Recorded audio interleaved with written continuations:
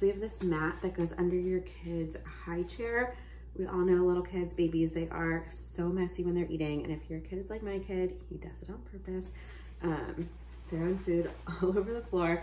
So here is the mat. It has this really cool design with the zodiac signs going around. It is a big circle and then really pretty like sun in the middle. Get this on the floor. And then, so this right here faces up. It's like easy to clean, easy to wipe clean. It is machine washable too. So if it gets super messy.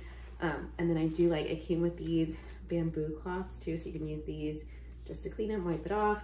Or if it gets really dirty, just throw this whole thing in the washing machine. And then on the back is this non-slip material.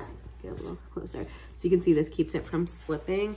Um, and then if you need to, it does come with some Velcro dots. You can Velcro it down to your floor as well. Um, but this really does seem like it's not gonna slip and move around because of this. And then we will get this on the floor and show you how it fits under our high chair. All right, so you can see just how big it is around our kid's high chair.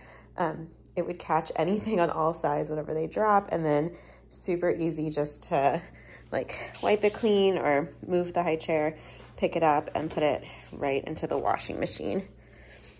So perfect for keeping your floors clean, easy to clean,